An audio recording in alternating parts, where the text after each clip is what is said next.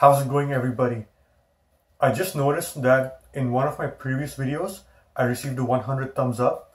So thank you very much.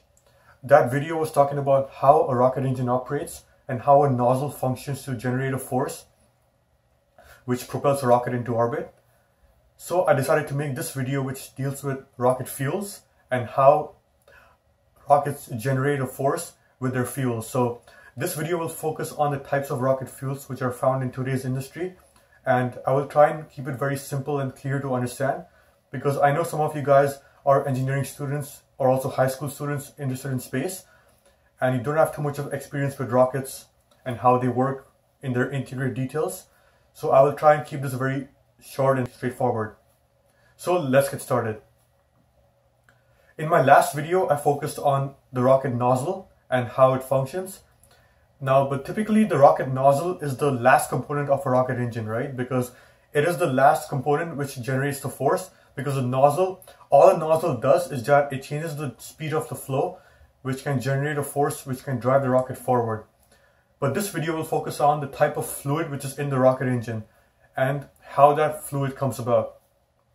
So we will focus on four rocket engine types, solid, liquid, hybrid, and electric. Let's jump right into it. Now, I decided to start off with liquid rockets because these are the ones we see on TV and in the news at all times. For example, the, the NASA Space Shuttle, the SpaceX Falcon 9 rocket, which is used to carry payloads into orbit, as well as the Atlas rocket, the Titan rocket, and the Delta rocket, manufactured by a company called ULA, which stands for United Launch Alliance they use a fuel and an oxidizer. And these rockets are called bipropellant, which means they use two propellants stored in separate tanks. And then these propellants mix and they create a combustion process. And from the combustion process, the mixture occurs in something called a chamber, which is a combustion chamber, which can withstand very high pressure. The way the propellants enter the combustion chamber from the, the storage tanks is called a turbo pump. The turbopumps are used commonly for the rockets we see on TV because they're very powerful and they can raise the gas to a very high pressure so it can be pumped in the combustion chamber very quickly. So there's also a pressure regulator and a relief valve.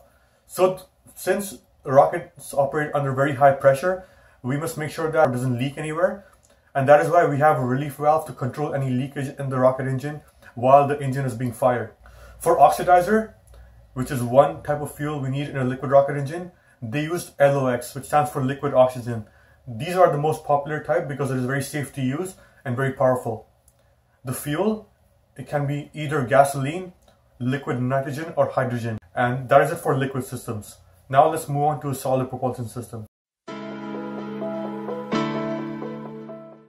Now solid rockets are very dangerous because they're essentially a bomb which deflagrates instead of detonates. Deflagration is a slow burn because a solid motor has to burn for a long time period. But the main advantage of a solid motor is that unlike a liquid rocket motor, it does not react with the outside environment as much and that is why you can store them for a long time period. This was the reason why solid fuels were used in missiles by the Soviets back in the day because they could be launched from the air and the outside air temperature had little to no effect on the solid motor because it's non-reacting with the environment. A rocket, which is called the Pegasus rocket, developed by a company called Orbital ATK, which was formerly known as Orbital Sciences Corporation.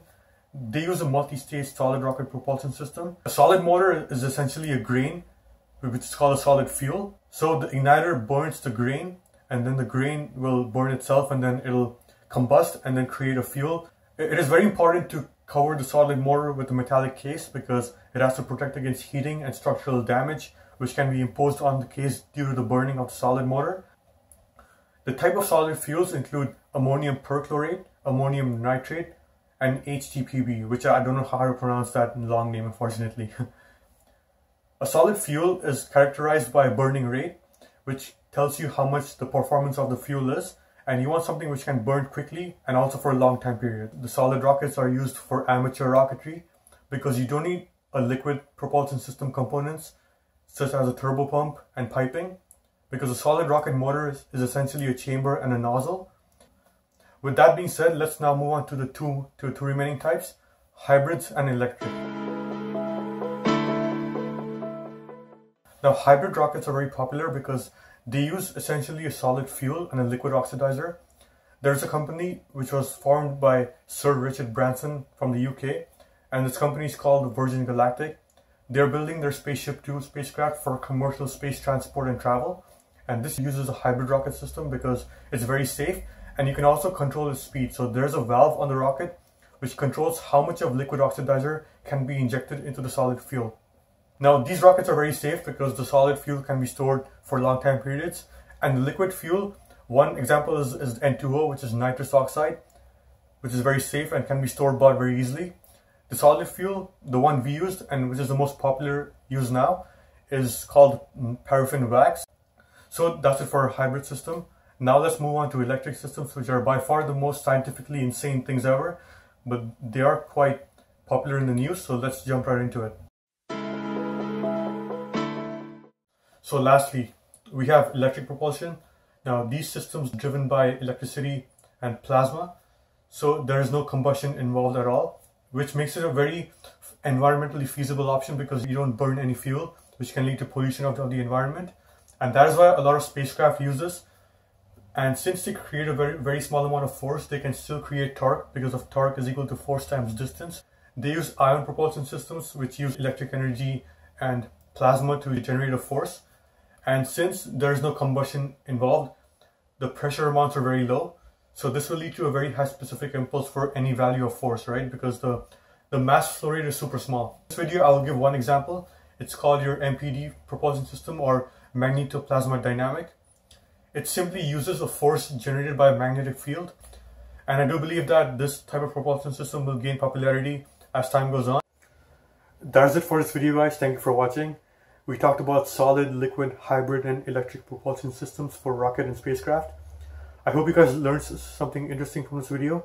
And if you have any questions or comments, please don't hesitate at all to leave it in the comments below because I will be sure to check it. And also, if you have any feedback for the way I thought and if, if I didn't, you know, explain something too well, please let me know in the comments because it'll serve as a benchmark for my next videos. And with that being said, thank you for watching. I'll see you guys in the next video. Take care. Have a nice day. Bye-bye.